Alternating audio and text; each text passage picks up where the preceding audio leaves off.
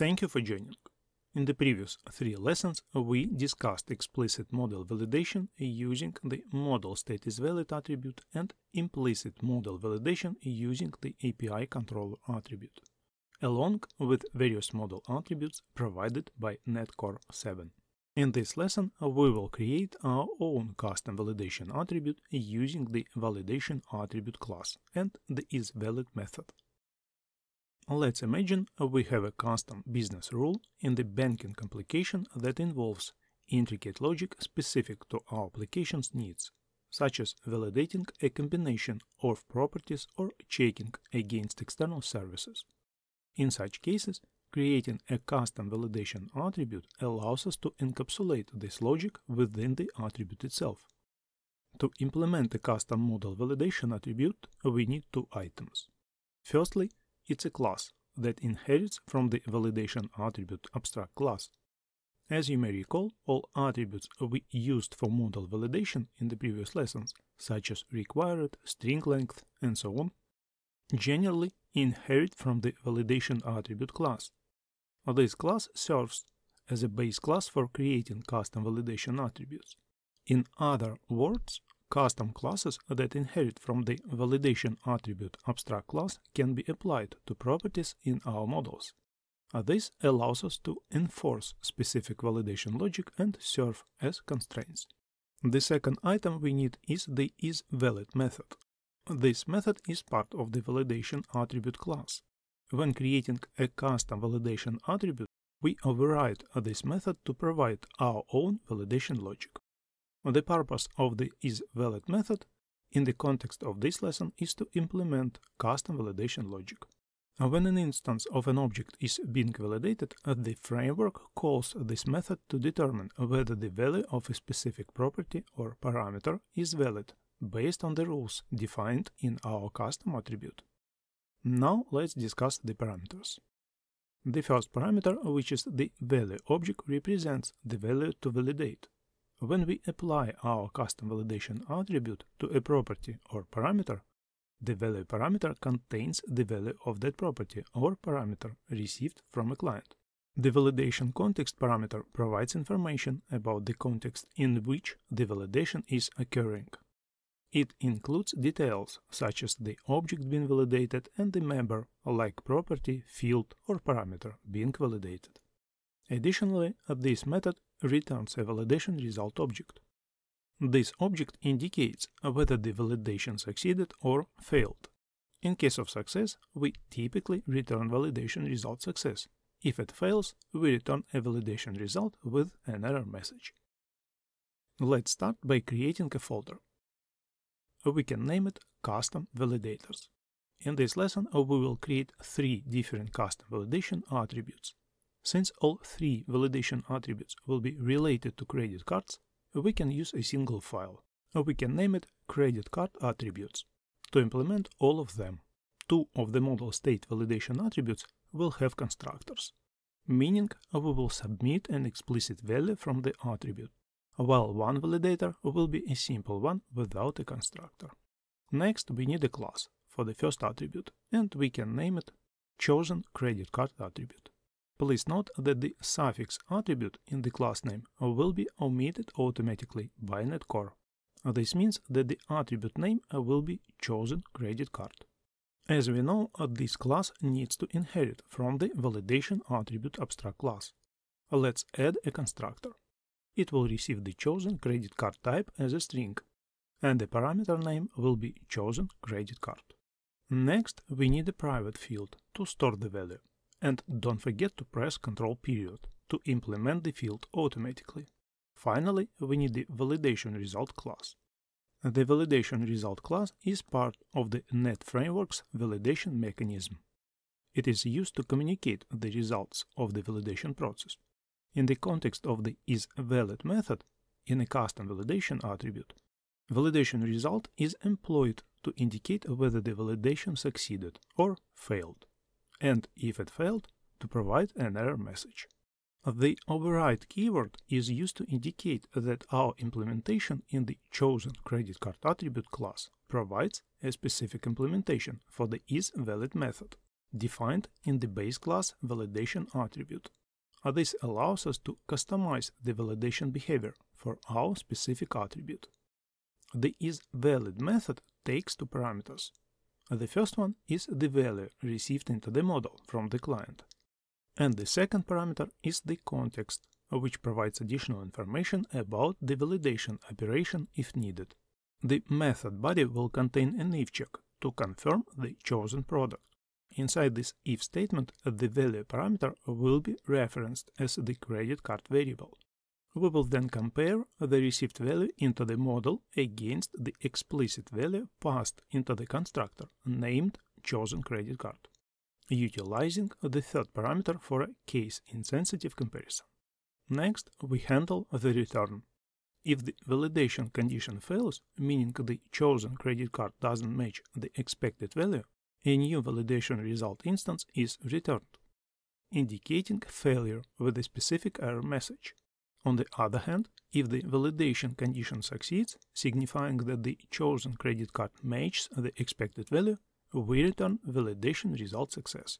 This indicates success without any associated error message. No worries, at the end of the lesson I will explain the data flow once again in detail. Now let's implement the second validation attribute.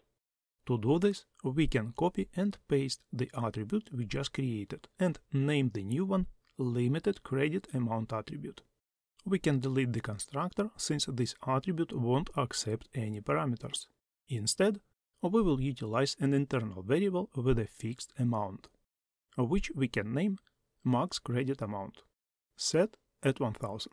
In the if check, we will change the value reference name to credit amount, and it will be of the decimal type.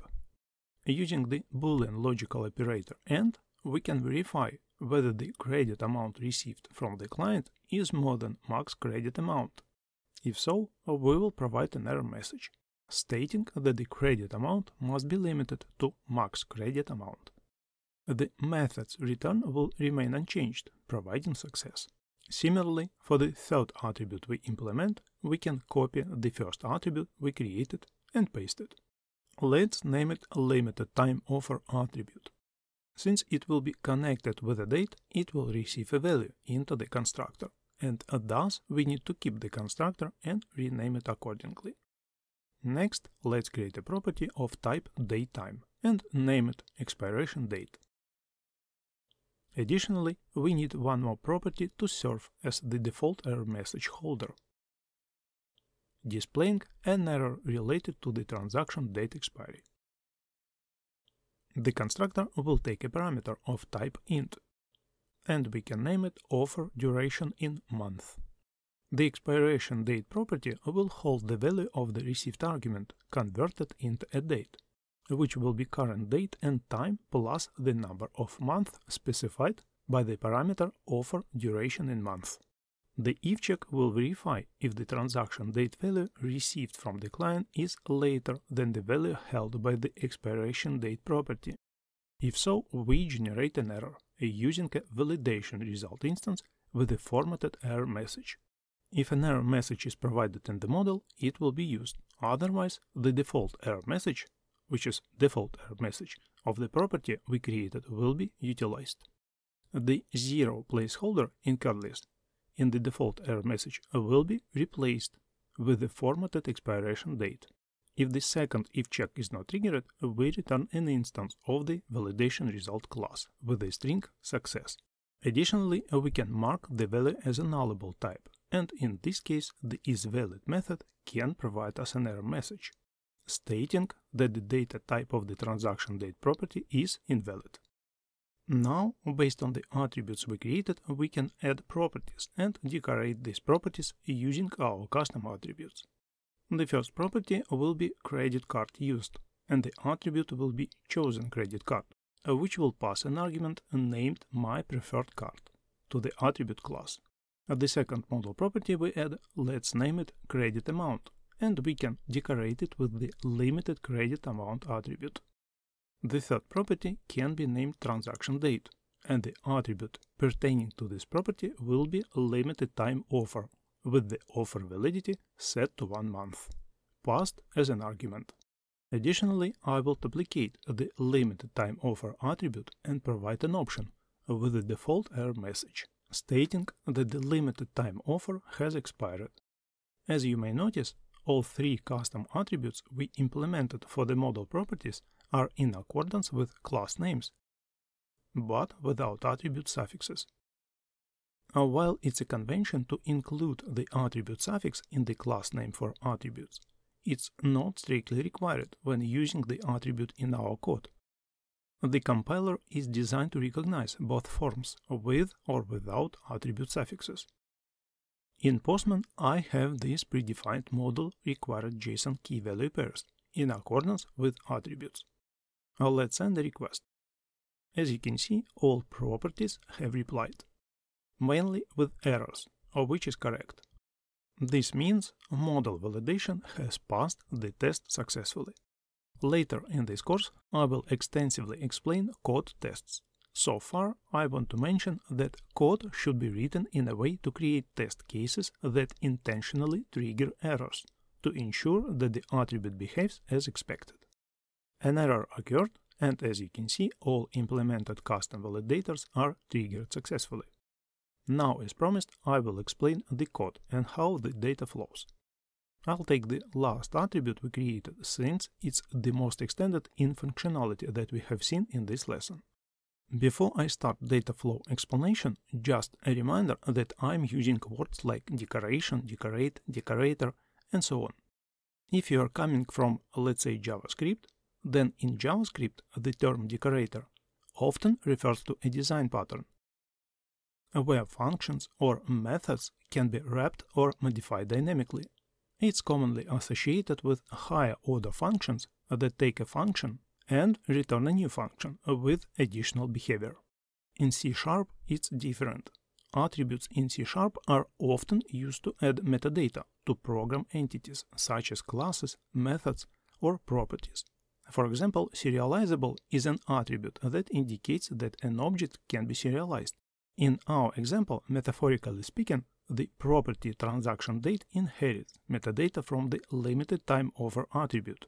When we apply the attribute to the property, or when we decorate the transaction date with the limited time offer attribute, we are associating metadata or additional information with that property. This association is done internally by the framework. In summary, the attribute serves as a way to associate metadata and behavior with the property. The validation logic in the attribute is then executed when validation is triggered, providing a mechanism to verify the state of the model based on the metadata provided by the attribute. Now let's start from the very beginning with this combination of the transaction date property and the limited time offer attribute class. Internally, the limited time offer attribute is acting as a validator for the transaction date property. This is made possible by the validation attribute class and the .NET Framework's internal validation mechanism. Now let's break down what happens. First, the limited time offer attribute is applied to the transaction date property. This is a way of associating metadata, in this case, validation rules with the property. Many aspects of this process are handled by the framework itself. Second, when validation is triggered, for example during a call to validator, a validation context is created.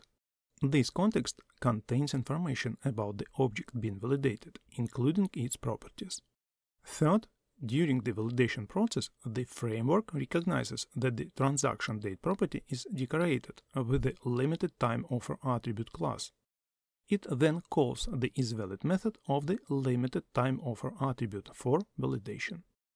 Inside the isValid method, custom validation logic is performed. In this case, we check if the transaction date is later than the expiration date, calculated based on the attributes parameter, which is one month.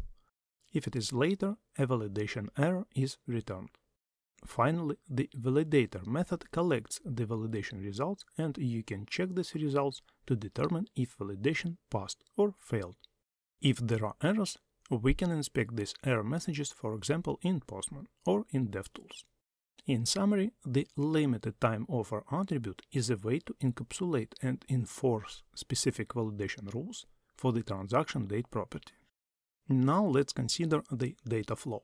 When the framework detects a call to the property, in our example it's transaction date, the framework also notices the limited time offer attribute applied to the property, associating metadata and custom behavior with the property.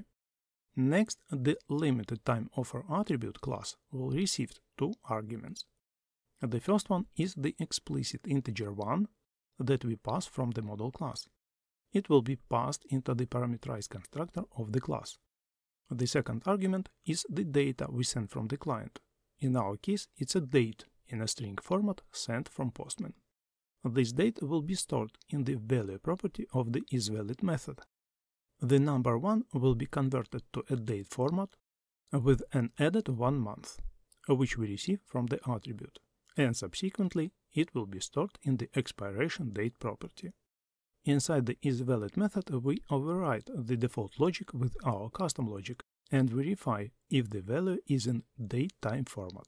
If so, using C-sharp pattern matching statements and the is keyword along with the declaration pattern, we assign the value to the transaction date. Then using an if check, we verify the required condition. Next, using the null coalescing operator, we check if we have the error message. Since the error message was not passed from the model as this version of the attribute is commented out, the default message property will be used instead. And the zero placeholder receives the value of the expiration date. This is why in Postman we see this error message with the included date time we passed the key value pair and added one month. In the next lesson, uh, we will explore the creation of custom validation attributes with multiple properties. Additionally, I will provide an explanation of the validation context class, including its available properties and methods. This class allows us to access information about the object being validated and the validation process. Thanks for watching. If you have any questions or need further assistance, feel free to comment below. Don't forget to hit that like button and subscribe to our channel for more great coding content. Stay updated with the latest videos by ringing the notification bell. Happy coding!